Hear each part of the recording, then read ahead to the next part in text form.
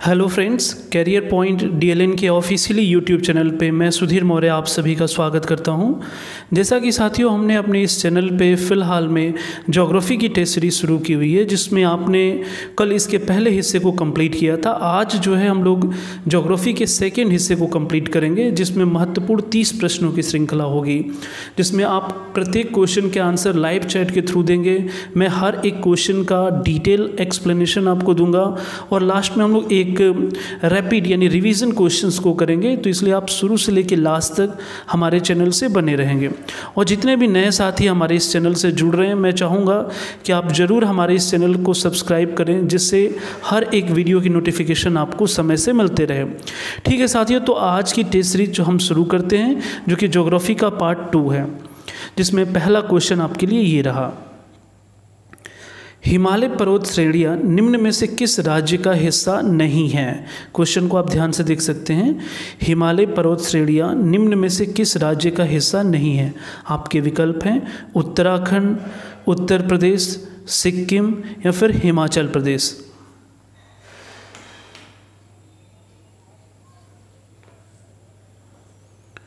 आप सभी अपने कमेंट सेक्शन में आंसर बताते रहें। देखिए, जो पहला क्वेश्चन है, इसका जो आंसर है, वो है ऑप्शन बी उत्तर प्रदेश। यानी उत्तर प्रदेश में हिमालय पर्वत की श्रेणी का कोई भी हिस्सा शामिल नहीं है। आप इसके बारे में थोड़ा डिटेल देख सकते हैं। भारत के प्रमुख हिमालयी जो राज्य हैं, उनमें जम्मू कश्मीर, हिमाचल प्रदेश, उत्तराखंड, सिक्किम, अरुणाचल प्रदेश, मेघालय, नागालैंड, मणिपुर, मिज़ोरम और त्रिपुरा है। इनके अलावा असम और पश्चिम बंगाल के पहाड़ी क्षेत्र भी इसके अंतर्गत आते हैं, जबकि उत्तर प्रदेश का विस्तार केवल मैदानी क्षेत्र तक ही सीमित है। इसलिए साथियों, पहले क्वेश्चन का जो आंसर है, वह ऑप्शन बी। बढ़ते हम अपने नेक्स्ट क्वेश्चन की तरफ़। देख सकते हैं आप। लघु हिमालय किसके मध्य स्थित है? आपके जो विकल्प हैं, पहला है ट्रांस हिमालय और महान हिमालय के बीच, बी ऑप्शन है शिवालिक और महान हिमालय के बीच, सी ऑप्शन है ट्रांस हिमालय और शिवालिक के बीच, या फिर डी ऑप्शन है शिवालिक और बाह्य हिमालय के बीच।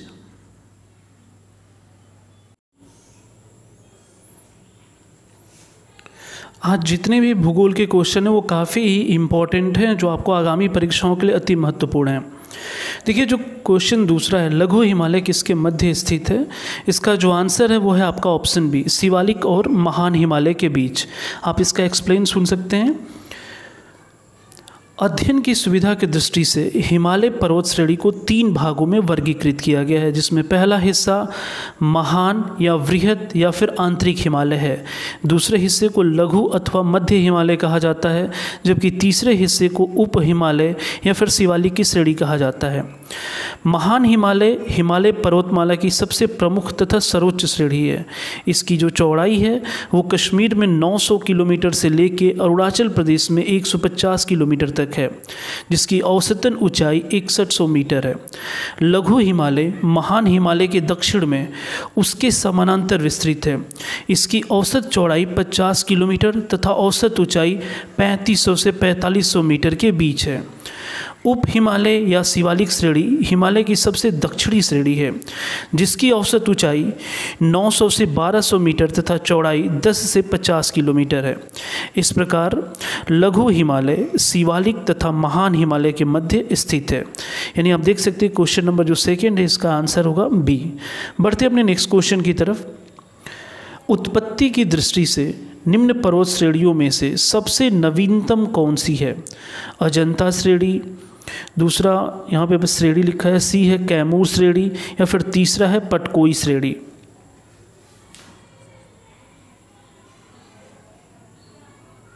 हालाँकि आपके जितने भी विकल्प हैं, उसमें आंसर मौजूद है, इसलिए आप इस क्वेश्चन को देखें और आंसर करें।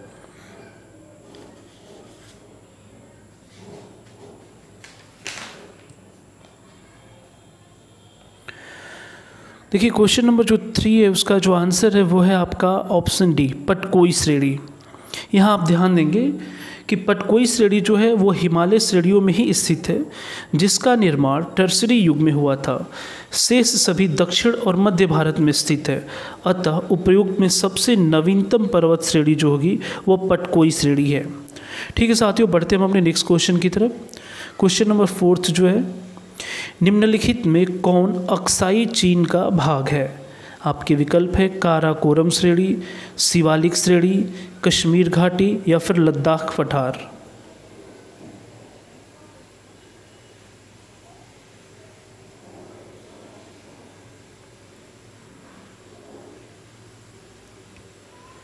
क्वेश्चन नंबर जो चार है, ये भी काफ़ी इंपॉर्टेंट है। देखिए, इसका जो आंसर है वो है ऑप्शन डी, लद्दाख पठार।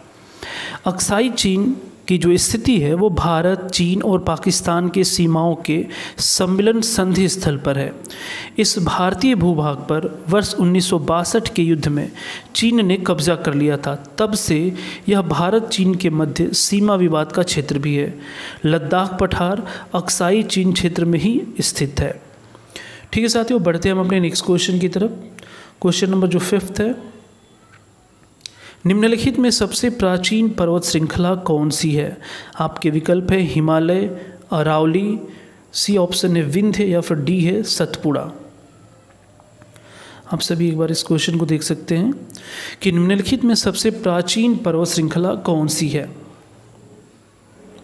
जितने भी साथी अभी इस समय हमारे इस चैनल को देख रहे हैं या ये वीडियो को देख रहे हैं, आप ज़रूर कमेंट सेक्शन में आए। गलत या सही, जो भी आपको आंसर लगे, अगर आप कमेंट करते रहेंगे, तभी आप अपने आप को परख भी पाएँगे। तो मैं उम्मीद करता हूँ कि सभी साथी चैनल से ज़रूर जुड़ेंगे। देखिए, जो क्वेश्चन नंबर फिफ्थ है, इसका जो आंसर है, वो है ऑप्शन डी अरावली। अरावली पर्वत श्रेणी को सबसे प्राचीन पर्वत श्रृंखला मानी जाती है। आप इसके बारे में थोड़ा डिटेल समझ सकते हैं। अरावली श्रेणी जो है, गुजरात के पालनपुर से लेकर राजस्थान एवं हरियाणा से होकर दिल्ली तक लगभग 800 किलोमीटर की लंबाई में फैली हुई है। इसका जो निर्माण है, वो प्री कैम्ब्रियन काल से हुआ है, जो 600 से 570 मिलियन वर्ष पूर्व का माना जाता है।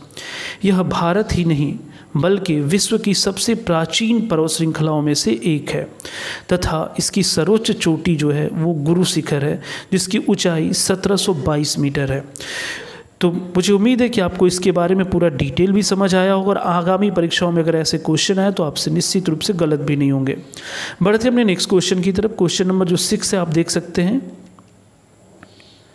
दक्षिण भारत की सबसे ऊँची चोटी कौन सी है? आपके विकल्प हैं, अनाईमुड़ी दोदा बेट्टा अमरकंटक या फिर डी ऑप्शन है महेंद्रगिरी।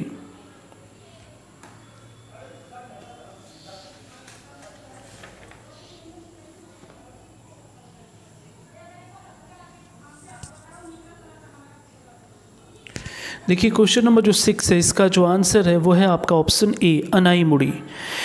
ये भी काफ़ी इंपॉर्टेंट क्वेश्चन है। इसके बारे में आप डिटेल सुन सकते हैं। जो अनाई मुड़ी है, वो दक्षिण भारत की सर्वोच्च पर्वत चोटी है। इसकी ऊंचाई दो हज़ार छः सौ पंचानवे मीटर है तथा यह केरल के इडुक्की ज़िले में स्थित है।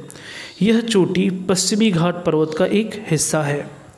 ठीक है साथियों तो सिक्स नंबर क्वेश्चन का जो आंसर है, वो है अनाई मुड़ी बढ़ते अपने नेक्स्ट क्वेश्चन की तरफ़। क्वेश्चन नंबर जो सेवेंथ है, नर्मदा और ताप्ती नदियों के मध्य स्थित है। यानी आपको बताना है कि इसमें से कौन सी पर्वत श्रेणी नर्मदा और ताप्ती नदियों के मध्य में स्थित है। आपके विकल्प हैं विंध्य पर्वत, सतपुड़ा श्रेणियाँ, राजमहल पहाड़ियाँ या फिर डी ऑप्शन है आपका अरावली पहाड़ियाँ। एक बार मैं इसको मिनिमाइज़ करता हूँ, आप देख सकते हैं क्वेश्चन को। नर्मदा और ताप्ती नदियों के मध्य स्थित है विंध्य पर्वत, सतपुड़ा श्रेणियाँ, राजमहल पहाड़ियाँ या फिर अरावली पहाड़ियाँ।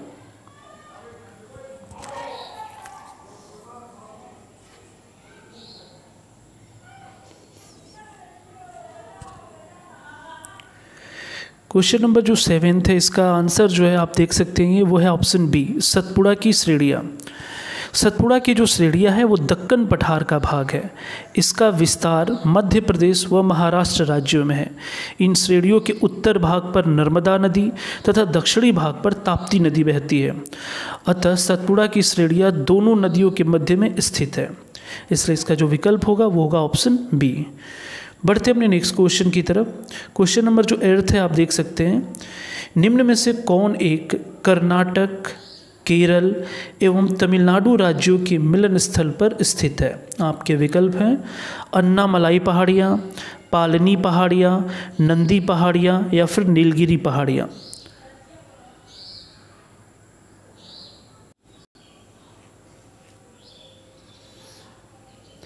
आज के टेस्ट में मैंने पूरा प्रयास किया है कि जितने भी स्टेट पीसीएस में या एसएससी एग्ज़ाम में जो भी महत्वपूर्ण क्वेश्चन बार बार परीक्षाओं में पूछे गए हैं, उन्हीं की एक पूरी कंप्लीट श्रृंखला है ये। और पर्वत, पठार, दर्रे से संबंधित जो भी प्रश्न होंगे, आपको निश्चित तौर पे यहाँ पे उनके डिटेल आपको मिलेंगे। देखिए, क्वेश्चन नंबर जो आठ है, इसका जो आंसर है, वो है ऑप्शन डी, नीलगिरी की पहाड़ियाँ। तो आप कर, इसके बारे में एक बार डिटेल समझ सकते हैं। जो नीलगिरी की पहाड़ियाँ हैं, वो भारत के दक्षिणी भाग में स्थित एक पर्वतमाला है। यह पर्वतमाला पश्चिमी घाट श्रृंखला का एक हिस्सा है तथा यह कर्नाटक, केरल और तमिलनाडु राज्यों के मिलन स्थल पर स्थित है। ठीक है साथियों, बढ़ते अपने नेक्स्ट क्वेश्चन की तरफ़। क्वेश्चन नंबर जो नौ, चूँकि इसको मैंने कलर चेंज किया है, यानी इसका आंसर देखता हूँ कौन सबसे पहले देता है और ये थोड़ा अलग भी क्वेश्चन है, आप देख सकते हैं ध्यान से। भारतीय समुद्र शास्त्रियों ने अरब सागर के तल में बम्बई से पश्चिम दक्षिण में लगभग 455 किलोमीटर दूर, एक नए 1505 मीटर ऊँचे पर्वत की खोज की है। इस पर्वत का नाम रखा गया है। आपको बताना है कि इस पर्वत का नाम क्या रखा गया है।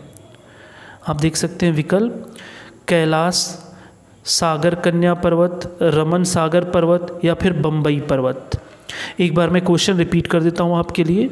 भारतीय समुद्र शास्त्रियों ने अरब सागर के तल में बम्बई से पश्चिम दक्षिण में, लगभग 455 किलोमीटर दूर, एक नए 1505 मीटर ऊँचे पर्वत की खोज की है। इस पर्वत का नाम क्या रखा गया है?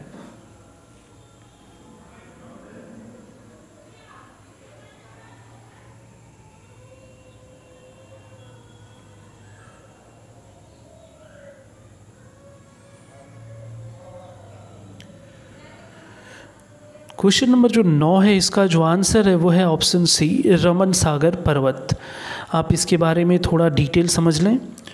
भारतीय समुद्र शास्त्रियों ने तीन समुद्र पर्वत श्रेणियों की खोज की है, जिनमें एक मध्य हिंद महासागर बेसिन में, दूसरा पूर्वी अरब सागर में सागर कन्या तथा तीसरा मुंबई से 455 किलोमीटर पश्चिम दक्षिण में खोजा गया है।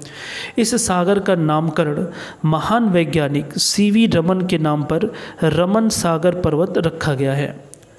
बढ़ते हम अपने नेक्स्ट क्वेश्चन की तरफ़। क्वेश्चन नंबर जो दस है, महाराष्ट्र एवं कर्नाटक में पश्चिमी घाट कहलाता है। तो ये जो फिल इन द ब्लैंक्स है, यहाँ पे आपको भरना है कि महाराष्ट्र एवं कर्नाटक में पश्चिमी घाट किस नाम से जाना जाता है? नीलगिरी पर्वत, सहयाद्री, दक्कन पठार या फिर अन्नामलाई पहाड़ी।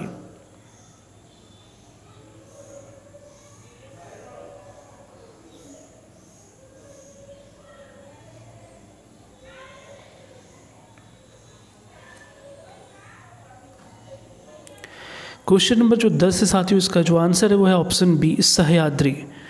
पश्चिमी घाट को महाराष्ट्र, गोवा एवं कर्नाटक में सहयाद्री के नाम से जाना जाता है। इसकी औसत ऊंचाई लगभग 1200 मीटर है। केरल में इसे सह पर्वतम के नाम से भी जाना जाता है। बढ़ते अपने नेक्स्ट क्वेश्चन की तरफ़। क्वेश्चन नंबर जो ग्यारह है, उसे आप देख सकते हैं। कार्डमम पहाड़ियाँ जिन राज्यों की सीमाओं पर स्थित हैं, वह है। आपके विकल्प है ए ऑप्शन है कर्नाटक एवं तमिलनाडु, बी ऑप्शन है कर्नाटक एवं केरल, सी ऑप्शन है केरल एवं तमिलनाडु या फिर डी ऑप्शन है तमिलनाडु एवं आंध्र प्रदेश।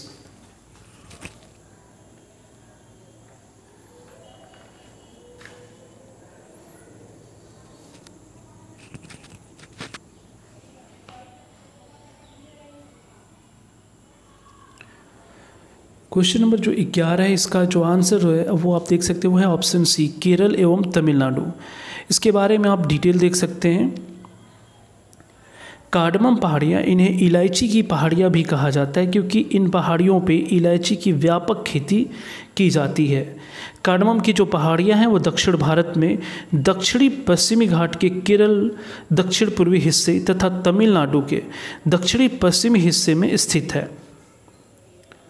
ठीक है साथियों तो बढ़ते हम अपने नेक्स्ट क्वेश्चन की तरफ़। क्वेश्चन नंबर जो बारह है, इसमें भी देखना है कि कौन सबसे पहले आंसर करता है कमेंट सेक्शन में। देखिए क्वेश्चन नंबर बारह जो है, निम्न में कौन सा युग्म सुमेलित नहीं है?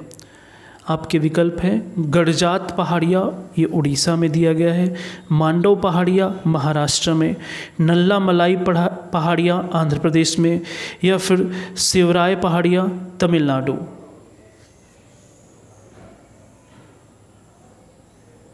आप ये डी ऑप्शन जो है, ये तमिलनाडु लिखा हुआ है। अब आपने ये बताना है कि इसमें से कौन सा युग में सुमेलित नहीं है।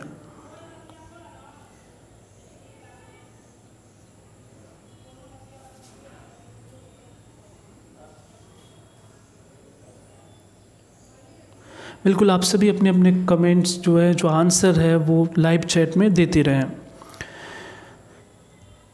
साथ ही मैं ये भी चाहूँगा कि जितने स्टूडेंट अभी इस समय इस वीडियो को लाइव देख रहे हैं, एक बार आप ज़रूर से इसे लाइक और शेयर कर दें, जिससे और अधिक से अधिक स्टूडेंट इस चैनल से जुड़ सके और उन्हें भी इन क्वेश्चंस के फ़ायदे मिल सके। देखिए, जो क्वेश्चन नंबर बारह है, इसका जो आंसर है, वो है आपका ऑप्शन बी ऑप्शन बी जो दिया हुआ है, मांडो पहाड़िया महाराष्ट्र, ये गलत एक है, क्योंकि मांडो की जो पहाड़ियाँ हैं, वो गुजरात राज्य में स्थित है, न कि महाराष्ट्र। बाकी जो तीनों विकल्प है, वो सही है, यानी गढ़जात पहाड़ियाँ उड़ीसा में ही स्थित है, मांडो पहाड़ियाँ जो है, वो गुजरात में है, जो कि गलत है इसमें। नल्ला मलाई की पहाड़ियाँ, वो आंध्र प्रदेश में ही है, और शिवराई की पहाड़ियाँ तमिलनाडु में स्थित है। इसलिए क्वेश्चन नंबर बारह में जो युग में सुमेलित नहीं है, वो है आपका ऑप्शन बी। बढ़ते हम अपने नेक्स्ट क्वेश्चन की तरफ़। क्वेश्चन नंबर जो तेरह है, उसे आप देख सकते हैं। भारत में निम्न में से कौन सी पर्वत श्रेणी केवल एक ही राज्य में फैली है? आपके विकल्प हैं अरावली, सतपुड़ा, अजंता या फिर सहयाद्री।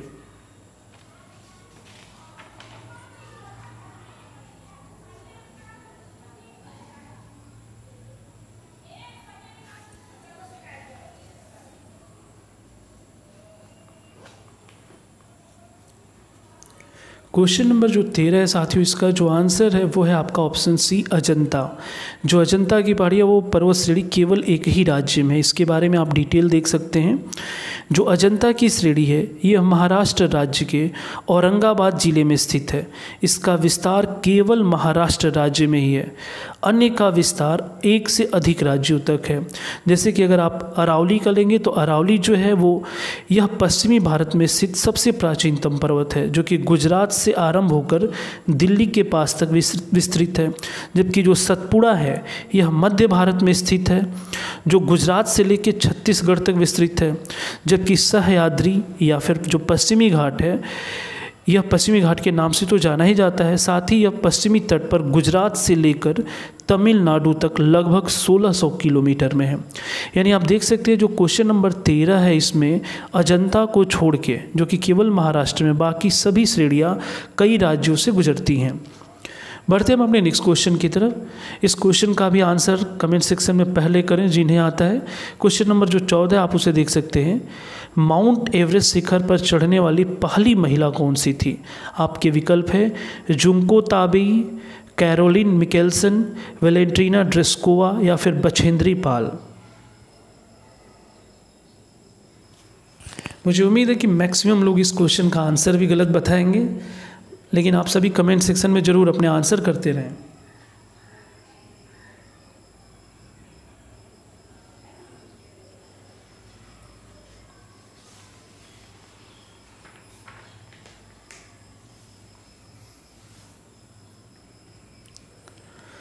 देखिए साथियों क्वेश्चन नंबर जो चौदह इसका जो आंसर है, वो है ऑप्शन ए देखेंगे आप, जुंको ताबेई इनके बारे में आप थोड़ा देख सकते हैं।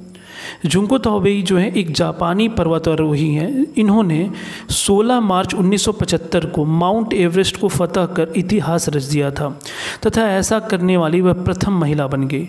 ये सातों महाद्वीप ये जो है सातों महाद्वीपों महाद्वीपों के सर्वोच्च शिखर पर चढ़ने वाली पहली महिला भी हैं। जबकि जो बछेंद्री पाल है, जो कि ज़्यादातर लोगों का आंसर है, बछेंद्री पाल पहली भारतीय महिला है और इन्होंने जो सफलता पाई थी, वो उन्नीस सौ चौरासी में पाई थी, जबकि ताम्बेई ने 1975 में। बढ़ते हम अपने नेक्स्ट क्वेश्चन की तरफ़। क्वेश्चन नंबर पंद्रह आप देख सकते हैं। नेक्स्ट जो है नंदा देवी शिखर स्थित है। आपके विकल्प है हिमाचल प्रदेश में बी ऑप्शन है उत्तराखंड सी ऑप्शन है उत्तर प्रदेश या फिर डी ऑप्शन है सिक्किम।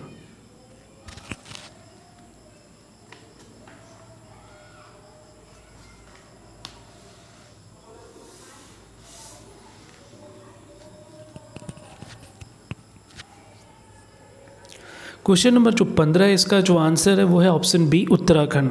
आप देख सकते हैं कि जो नंदा देवी शिखर है, यह वृहद हिमालय पर्वत श्रृंखला में भारत के उत्तराखंड राज्य में स्थित है। यह भारत की तीसरी सर्वोच्च चोटी है। पहली जो दो चोटियाँ हैं वो क्रमशः, पहली है गाडविन आस्टिन जिसे आप केटू कहते हैं, एवं कंचनजंगा दूसरे नंबर पे, और तीसरे पे जो है वो है नंदा देवी। और इसके साथ साथ आप ये भी देख सकते हैं कि जो नंदा देवी राष्ट्रीय उद्यान एक घोषित किया गया है, इसे यूनेस्को ने 1988 में प्राकृतिक महत्व के लिए विश्व धरोहर के रूप में भी संरक्षित किया था। ठीक है साथियों तो क्वेश्चन नंबर जो पंद्रह है, इसका आंसर है ऑप्शन बी उत्तराखंड। बढ़ते हम अपने नेक्स्ट क्वेश्चन की तरफ़। क्वेश्चन नंबर जो सोलह है, उसे आप देख सकते हैं। निम्न पर्वत शिखरों में कौन सा भारत में अवस्थित नहीं है? यानी निम्न पर्वत शिखरों में कौन भारत में स्थित नहीं है? आप देख सकते हैं विकल्प, गोसाई थान, कामेत, नंदा देवी या फिर डी ऑप्शन है त्रिशूल। आज के जितने भी क्वेश्चंस है मुझे पूरी उम्मीद है कि आपके लिए बहुत सभी लोगों के लिए नए क्वेश्चंस भी होंगे। आप ज़रूर इन्हें नोट्स बनाइए वीडियो को एक से दो बार देखिए और इसके साथ साथ एक्सप्लेनेशन को सुनिए। निश्चित तौर पे आपकी तैयारी बेहतर हो पाएगी।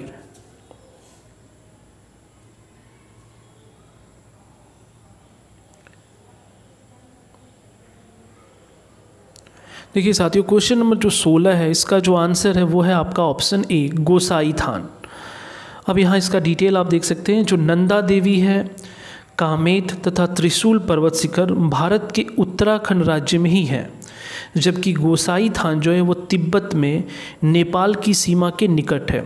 यानी इन चारों ऑप्शन में गोसाई थान ही भारत से बाहर है। बाकी जो तीन है वो उत्तराखंड में ही स्थित है।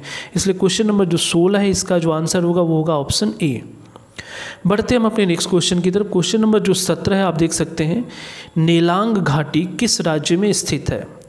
आपके विकल्प हैं हिमाचल प्रदेश, सिक्किम, कश्मीर या फिर उत्तराखंड।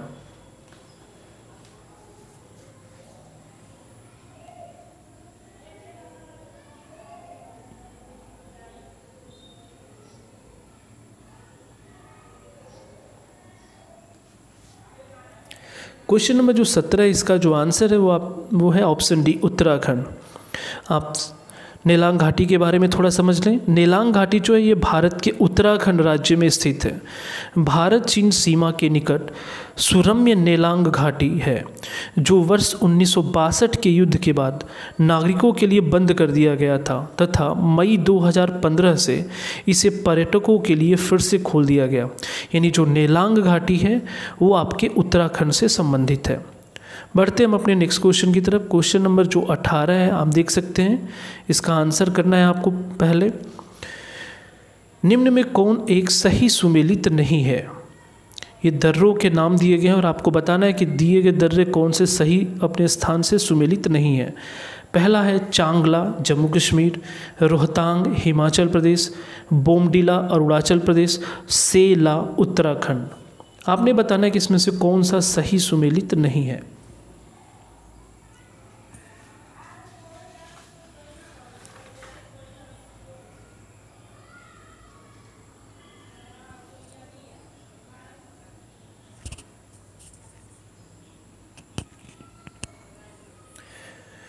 इस क्वेश्चन का जो आंसर है, वो है, आप देख सकते हैं, वो है ऑप्शन डी सेला। सेला जो है, ये उत्तराखंड में ना होके, बल्कि अरुणाचल प्रदेश में है। और बाकी जितने भी विकल्प दिए गए हैं, यानी चांगला जम्मू कश्मीर में ही है, रोहतांग, हिमाचल प्रदेश, बोमडीला, अरुणाचल प्रदेश, और जो सेला है, वो उत्तराखंड ना होके, बल्कि कहाँ है? अरुणाचल प्रदेश में। साथियों, आप सभी क्वेश्चन को ध्यान से सुनते, समझते और याद भी करते रहे क्योंकि लास्ट में जब हम लोग रिविज़न के लिए आएँगे तो आपको बहुत कम समय में डायरेक्ट आंसर बताना होगा और आपके लिए कोई विकल्प भी नहीं होगा। तो लास्ट तक आप हमारे वीडियो में ज़रूर बने रहें। देखिए क्वेश्चन नंबर जो 19 है, उसको देखते हैं। निम्न दर्रों में से किससे लेह किससे होकर लेह जाने का रास्ता है? आपके विकल्प है जोजिला दर्रा, सिपकिला दर्रा, चुंबी घाटी या फिर बनिहाल दर्रा।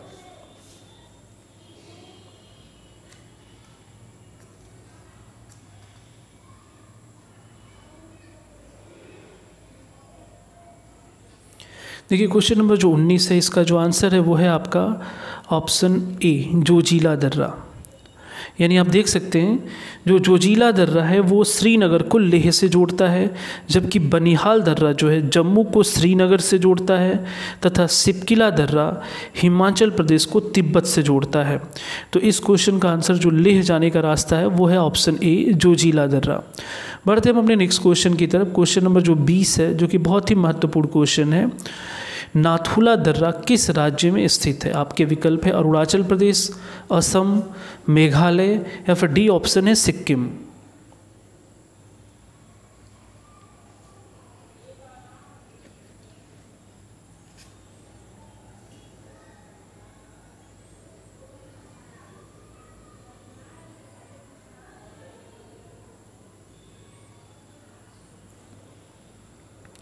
देखिए क्वेश्चन नंबर जो बीस है इसका जो आंसर है वो ऑप्शन डी सिक्किम। आप नाथुला दर्रा के बारे में थोड़ा डिटेल समझ लें क्योंकि अक्सर पेपरों में यहाँ से क्वेश्चन बनते हैं। जो नाथुला दर्रा है ये हिमालय क्षेत्र में समुद्र तल से 4,508 मीटर की ऊंचाई पर स्थित है। भारतीय क्षेत्र में सिक्किम की राजधानी गंगटोक से बावन किलोमीटर पूर्व में स्थित नाथुला दर्रा चीनी क्षेत्र में तिब्बती पठार की चुंबी घाटी में खुलता है। यानी नाथुला भारत एवं चीन के बीच तीसरा सीमा व्यापार पॉइंट है। यानी आप देख सकते हैं कि जो नाथुला दर्रा है, ये भारत और चीन के बीच व्यापारिक मार्ग का भी कार्य करता है। लेकिन ये तीसरा पॉइंट है, जबकि इसके अलावा दो पॉइंट और है जहाँ से भारत चीन व्यापार होते हैं। उसमें से एक पॉइंट है उत्तराखंड में लीपू लेक तथा हिमाचल प्रदेश में सिपकिला। वर्ष उन्नीस सौ बासठ में भारत चीन युद्ध के दौरान नाथुला दर्रा को बंद कर दिया गया था, जबकि इसके, आप देखेंगे फिर से इसे 6 जुलाई 2006 को पुनः खोला गया। हालाँकि हाल के दिनों में फिर से इस दर्रे को लेकर विवाद बना हुआ है कि क्या भारत चीन के व्यापार में इस दर्रे को फिर से बंद किया जाए या फिर नहीं। तो आप ध्यान रखेंगे, नाथुला दर्रा जो है, ये सिक्किम राज्य से संबंधित है। बढ़ते हम अपने नेक्स्ट क्वेश्चन की तरफ़। क्वेश्चन नंबर जो इक्कीस है, देख सकते हैं। निम्न में कौन सा हिमनद सबसे बड़ा है? आपके विकल्प हैं सियाचिन, बाल्टोरो, चोंगुलुंगमा या फिर डी है बियाफो। आप ध्यान रखेंगे ये सारे क्वेश्चन ही रिपीटेड हैं। भले आप बहुत सारे भी एग्ज़ाम नहीं दिए हों, लेकिन अगर आप जैसे जैसे एग्ज़ामों को देंगे, इन क्वेश्चन से सामना आपका ज़रूर होगा। इसलिए आप इन्हें ध्यान से नोट करते चलें और समझते चलें।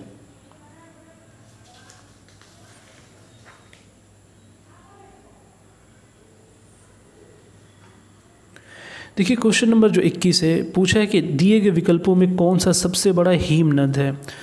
तो इसका आप ऑप्शन देख सकते हैं, इसका जो सही आंसर है, वो है ऑप्शन ए आपका सियाचीन।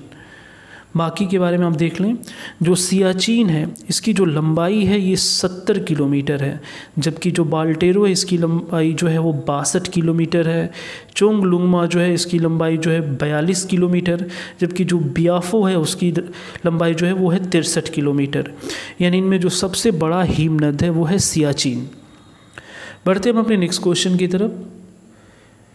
हिमालय के, इस क्वेश्चन को आप ध्यान से देखेंगे, हिमालय के हिम नदों के पिघलने की जो गति है, वो है आपका विकल्प एक, कम है बी ऑप्शन सबसे ज़्यादा है सी ऑप्शन है विश्व के अन्य भागों के हिम नदों के समान है, या फिर डी ऑप्शन है सूचना उपलब्ध नहीं है। आपने बताना है कि हिमालय के हिम नदों की पिघलने की गति क्या है।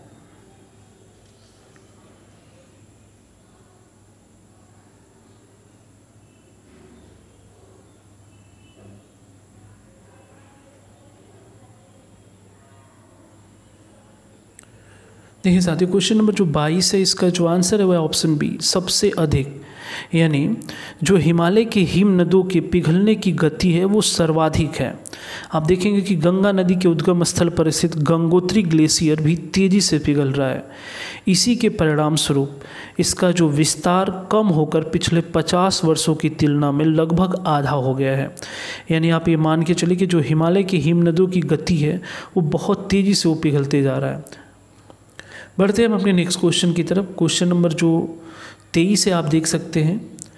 अरावली एवं विंध्य श्रृंखलाओं के मध्य कौन सा पठार स्थित है? मैं रिपीट करता हूँ। अरावली एवं विंध्य श्रृंखलाओं के मध्य कौन सा पठार स्थित है? आपके विकल्प हैं, मालवा का पठार, छोटा नागपुर का पठार, दक्कन का पठार, या फिर डी ऑप्शन है, प्रायद्वीप का पठार।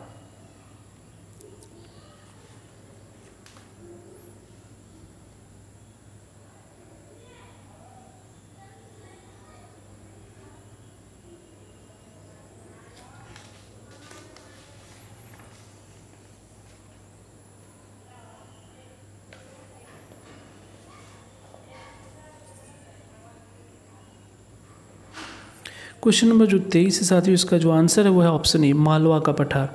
आप इसे ध्यान रखेंगे, जो मालवा का पठार है, वो अरावली और विंध्य श्रृंखलाओं के बीच में स्थित है। बढ़ते हम अपने नेक्स्ट क्वेश्चन की तरफ़। क्वेश्चन नंबर जो चौबीस है, आप देख सकते हैं, ये भी एक नया क्वेश्चन आपके लिए होगा। और इसका आंसर जो भी जानता है, वो पहले कमेंट सेक्शन में बता सकता है। निम्न में से किस तट से भारत का औसत समुद्र तल नापा जाता है? स्थान है वो आपके विकल्प, मुंबई, चेन्नई, कोचीन या फिर विशाखापट्टनम। क्वेश्चन में रिपीट कर देता हूँ, निम्नलिखित में से किस तट से भारत का औसत समुद्र तल नापा जाता है?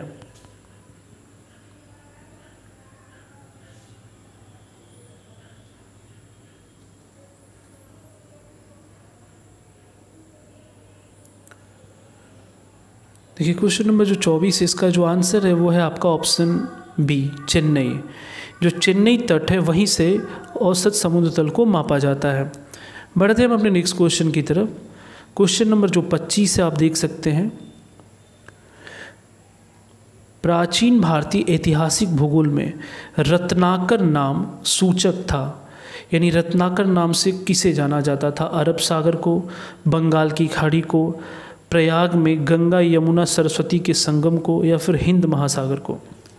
आपने बताना इन चारों विकल्पों में कि किसे प्राचीन भारतीय ऐतिहासिक भूगोल में रत्नाकर नाम से भी पुकारा जाता था।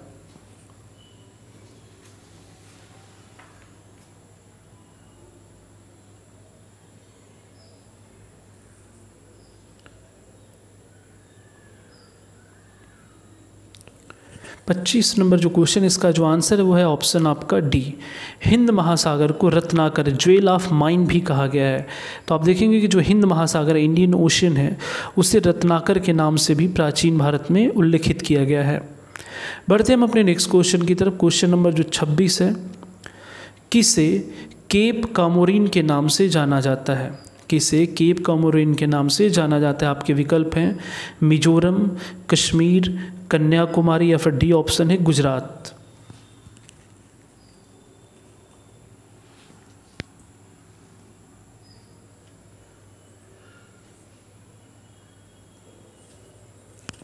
क्वेश्चन नंबर जो 26 है, इसका जो आंसर है वो है सी कन्याकुमारी। कन्याकुमारी को केप कोमरीन के नाम से भी जाना जाता है। इसमें कुछ ज़्यादा एक्सप्लेनेशन की ज़रूरत नहीं है।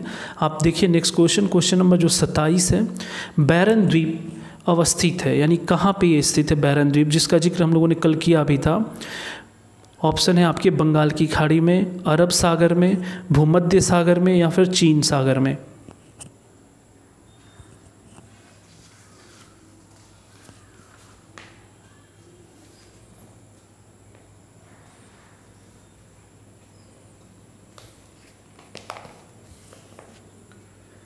क्वेश्चन नंबर जो सत्ताईस है साथियों इसका जो आंसर है, वो है आपका ऑप्शन ए बंगाल की खाड़ी में।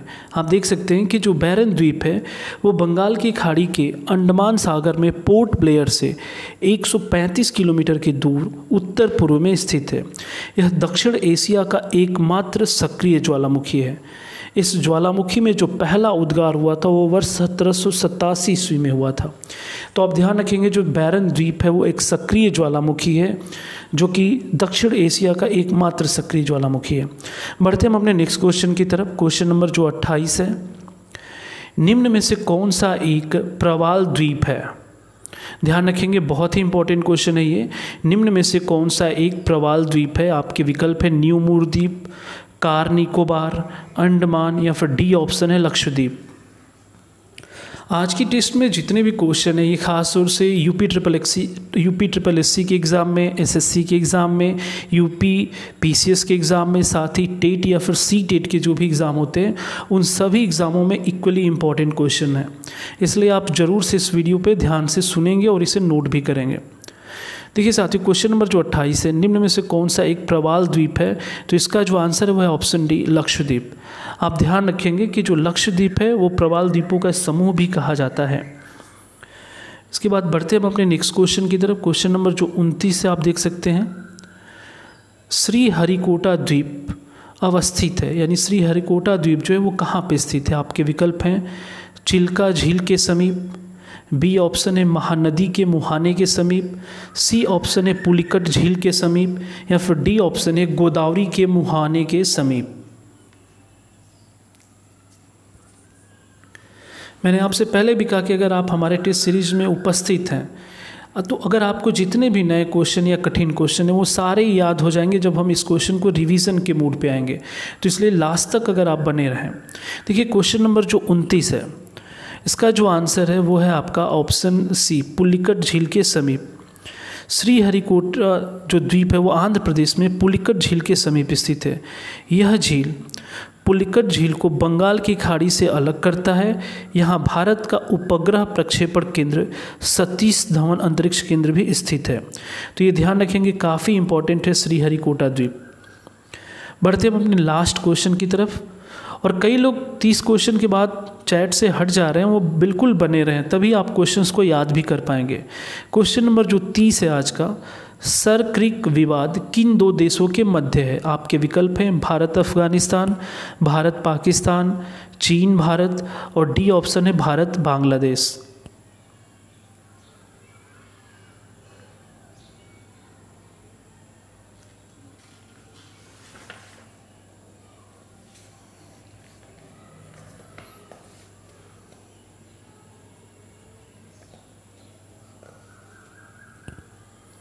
देखिए क्वेश्चन नंबर जो तीस है, इसका जो आंसर है, वो है ऑप्शन बी भारत और पाकिस्तान के मध्य सरक्रिक विवाद है। आप इसके बारे में डिटेल समझ सकते हैं।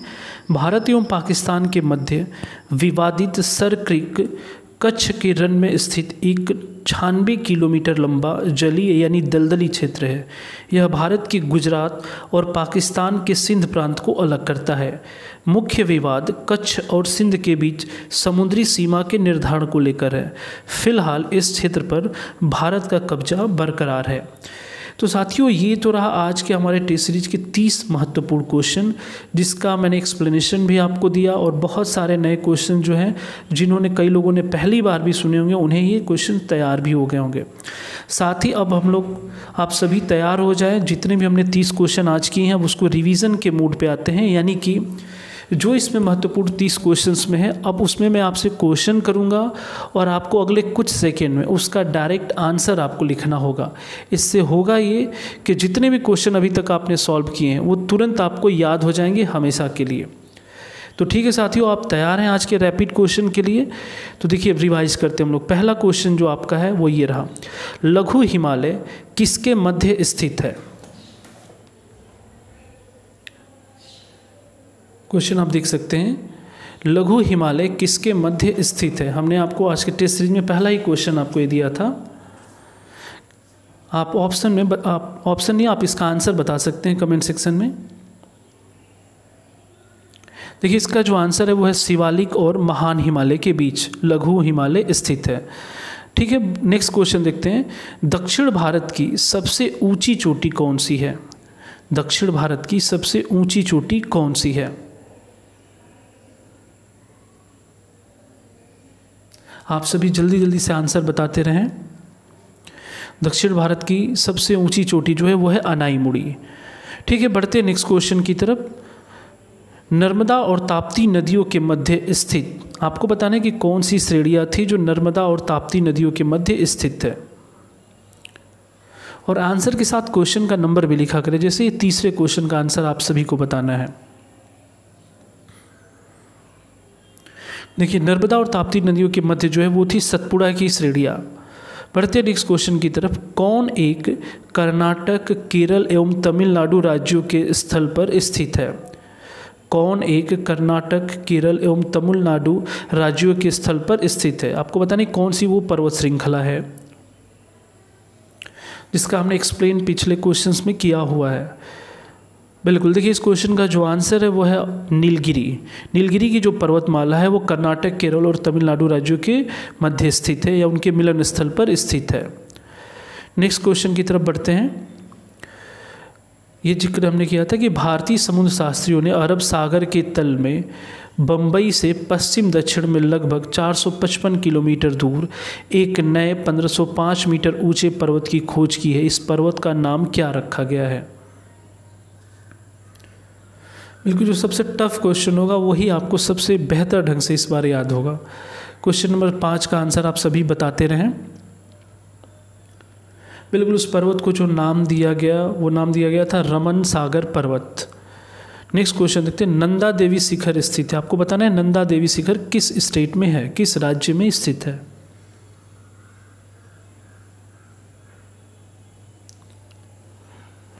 देखिए, नंदा देवी शिखर जो है, वो उत्तराखंड राज्य में स्थित है। नेक्स्ट क्वेश्चन है, नेलांग घाटी किस राज्य में स्थित है? नेलांग घाटी किस राज्य में स्थित है?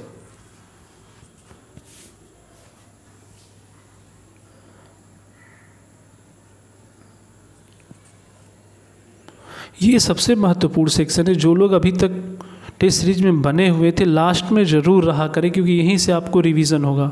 देखिए नेलांग घाटी जो है, ये भी उत्तराखंड राज्य में ही स्थित है। यहाँ पे मैंने आंसर नहीं लिखा, मैं आपको बोल रहा हूँ, आप उसे सुनते रहेंगे। क्वेश्चन नंबर जो आठ है, नाथुला दर्रा किस राज्य में स्थित है? अभी इसका हम लोगों ने ज़िक्र किया था, भारत चीन व्यापार से संबंधित। आपको बताना है कि नाथुला दर्रा किस राज्य में स्थित है?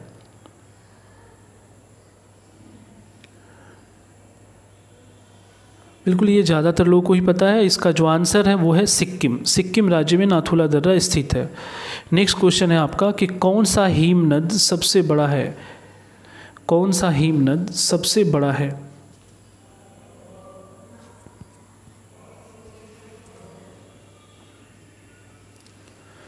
बिल्कुल, इसका जो आंसर है वो है सियाचिन। सियाचिन जो ग्लेशियर का था, वो मैंने कहा हिमनद सबसे बड़ा है। एक नेक्स्ट क्वेश्चन है कि अरावली एवं विंध्य श्रृंखलाओं के मध्य कौन सा पठार स्थित है? अरावली पर्वत और विंध्याचल पर्वत की श्रृंखलाओं के बीच कौन सा पठार स्थित है?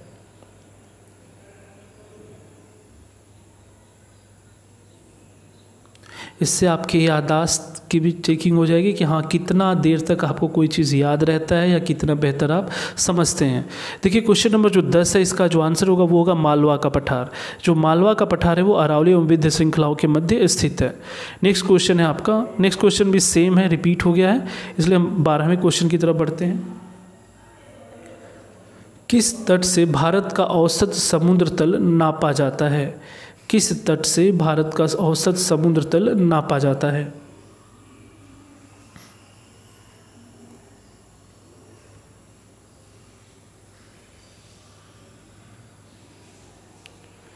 क्वेश्चन नंबर जो बारह है, कि कहाँ से समुद्र तल से नापा जाता है तो वो है आपका चेन्नई। नेक्स्ट क्वेश्चन की तरफ़ बढ़ते हैं। क्वेश्चन नंबर जो तेरह है, आप देख सकते हैं। प्राचीन भारतीय ऐतिहासिक भूगोल में रत्नाकर नाम सूचक था। रत्नाकर नाम किसे दिया गया था? जल्दी से आप सभी बताएँ।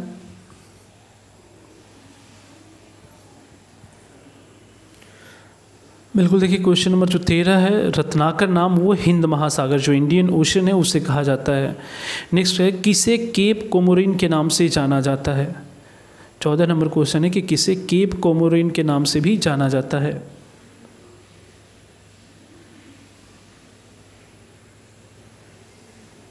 बिल्कुल, इस क्वेश्चन का जो आंसर है वो है कन्याकुमारी। कन्याकुमारी को केप कोमोरिन के नाम से भी जाना जाता है। आपने बताना है कि बैरन द्वीप स्थित, कहाँ पे स्थित है? बैरन द्वीप कहाँ पे स्थित है?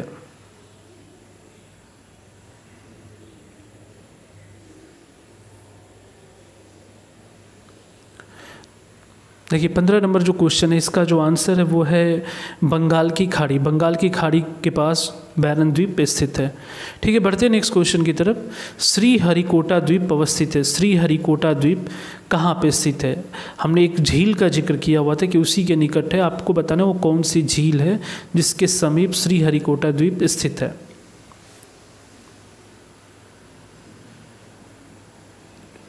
बिल्कुल साथियों, इस क्वेश्चन का जो आंसर है वो है पुलिकट झील। पुलिकट झील के समीप श्री हरिकोटा द्वीप स्थित है। लास्ट क्वेश्चन है जो सर क्रिक विवाद किन दो देशों के मध्य है? सर क्रिक विवाद किन दो देशों के मध्य इसका आंसर तो आप निश्चित तौर पे सभी लोग देंगे। बिल्कुल, ये जो विवाद है, वो भारत और पाकिस्तान के मध्य है। तो उम्मीद है साथियों कि आपको हमारा ये पैटर्न जो रिवीजन का है, ये भी ज़रूर आप सभी को पसंद आया होगा। आप लोग कमेंट सेक्शन में ये ज़रूर बताते रहें कि नहीं, इस पैटर्न आपको कैसा लग रहा है या आप कुछ आप और भी चाहते हैं नयापन तो आप उसका भी सजेशन कमेंट सेक्शन में दे सकते हैं। हम अपने अगले टेस्ट सीरीज़ में भी उसको जोड़ लेंगे। देखिए, ये हमारे आज के टेस्ट का ये दूसरा सेक्शन था। पहला था ऑब्जेक्टिव क्वेश्चन जो तीस थे। दूसरा सेक्शन था रैपिड क्वेश्चन और जो तीसरा है, वो आप देख सकते हैं कि हमने कल आपसे एक प्रश्न पूछा हुआ था। लास्ट में में तो उस प्रश्न का आंसर मैंने बोला था कि आप सभी कमेंट सेक्शन में देंगे तो कुछ लोगों ने दिए, कुछ लोगों ने आंसर नहीं भी किए। तो मैं आज उस क्वेश्चन का आंसर आपको बताता हूँ। तो कल का जो प्रश्न था, आप देख सकते हैं, यदि भारतीय मानक समय के अनुसार पूर्वाहन के दस बजे हैं तो बानवे डिग्री पूर्वी देशांतर पर शिलांग का स्थानीय समय क्या होगा? आपके ये चार विकल्प दिए गए थे। इसका जो आंसर है, आप देख सकते हैं, वो है आपका ऑप्शन बी यानी दस बज के अड़तीस मिनट पूर्वाहन। इसको आप ऐसे समझेंगे। देखिए यहाँ पे ज़िक्र किया गया है कि देशांतर का तो आपको पता है कि जो भारत का मानक समय वो है साढ़े बयासी डिग्री। और यहाँ पे बानवे डिग्री पूर्वी पूछा है, यानी उससे पूरब दिशा में, पूरब में बढ़ने पे आपको पता होना चाहिए कि समय बढ़ता है। और हर एक डिग्री देशांतर पे चार मिनट का अंतर होता है। तो आप देखेंगे कि साढ़े बयासी डिग्री पूर्वी देशांतर से बानवे डिग्री पूर्वी देशांतर के दौरान टोटल साढ़े नौ डिग्री देशांतर का अंतर होगा। तो साढ़े नौ डिग्री का मतलब नौ डिग्री में आपके छत्तीस मिनट हो गए और आधे डिग्री में दो मिनट। यानी टोटल अड़तीस मिनट समय और आगे हो जाएगा। तो चूँकि उस समय दस बज रहे थे तो अड़तीस मिनट बाद दस बज के अड़तीस मिनट होंगे। यानी इस क्वेश्चन का जो आंसर होगा, वो ऑप्शन होगा बी साथियों, ये रहा आज का क्वेश्चन जो आपको इस लाइव चैट में तो नहीं बताना है, इस पूरे वीडियो के कंप्लीट होने पे आप हमारे कमेंट सेक्शन में ज़रूर इसका आंसर करें। तो ये रहा आज का प्रश्न आपके लिए अंत में। पाल घाट निम्नलिखित में से किन के मध्य स्थित है? आपके विकल्प हैं नीलगिरी और कार्डमम पहाड़ियाँ बी ऑप्शन है नीलगिरी और अन्नामलाई पहाड़ियाँ सी ऑप्शन है अन्नामलाई और कार्डमम पहाड़ियाँ डी ऑप्शन है कार्डमम पहाड़ियाँ और पालिनी पहाड़ियाँ। इस क्वेश्चन को आप वीडियो में एक दो बार फिर से देख सकते हैं। इसके आंसर को आप सर्च करिए, फिर इसके बाद आंसर को आप कमेंट सेक्शन में कल के टेस्ट से पहले तक आप बता सकते हैं। तो ठीक साथियों, ये तो हमारे आज के टेस्ट सीरीज़ का रहा। उम्मीद है आप सबको पसंद भी आया होगा। अब लास्ट में मैं आपसे ये चाहूँगा कि अगर आपके लिए हम लोग इतना प्रयास कर रहे हैं तो आप ज़रूर से हमारे इस वीडियो को एक बार लाइक ज़रूर करें। जो जिन लोगों ने सब्सक्राइब नहीं किया, वो हमारे चैनल को सब्सक्राइब भी कर सकते हैं कैरियर पॉइंट डीएलएन को। साथ ही आप हमारे टेलीग्राम चैनल पर आ जाएँ, क्योंकि हर एक वीडियो के बाद तुरंत इसका पीडीएफ फ़ाइल हमारे टेलीग्राम चैनल से आप ले सकते हैं। और इसके साथ साथ आप अगर हमारे चैनल और कोचिंग के बारे में डिटेल चाहते तो हमारे वेबसाइट से भी विज़िट कर सकते हैं, और साथ ही व्हाट्सएप ग्रुप फेसबुक पेज पे भी आप हमें लाइक कर सकते हैं। ठीक है साथियों तो ये रहा आज का टेस्ट सीरीज़ और इसके अलावा अभी ठीक नौ बजे आप देखेंगे सीओम सर साइंस की क्लास जो भी क्लासेस हैं उनकी हो रही हैं। आप रीड अप ऑन जो हमारा एक साथी चैनल है, उससे भी आप जुड़ के उसे ज़रूर आप फॉलो करें। वहाँ भी काफ़ी अच्छी टीचिंग हो रही है और वहाँ पर काफ़ी अच्छी जानकारी आपको मिलेगी। ठीक है, तब तक के लिए आज के लिए धन्यवाद। फिर मिलते हैं कल नेक्स्ट वीडियो के साथ।